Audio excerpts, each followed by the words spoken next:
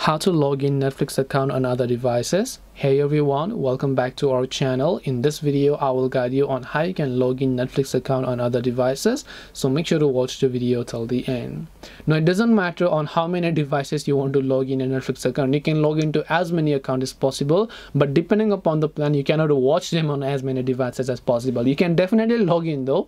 And to log in what you basically want to do is you can just open up your netflix application here. But you want to make sure that you remember the email and password. Just because you are logged in on a certain device doesn't mean you can log into another without email or password by just scanning the QR code. That's not how Netflix works. That might work on TVs but not on mobile phones or laptops. So for them you have to enter your password and email. So you want to tap the login option on your another device here as you normally do. Make sure to enter your email or phone number. And once you've done that you might also want to enter your password. Now if your password has been saved luckily and you don't remember the information you can use a saved password. If you forgot your password you can tap the forgot password option to log into your account. And this way you can log in netflix account on other devices. Hope this video was helpful. If you have any questions feel free to leave them down. Thank you for watching and see you soon in the next video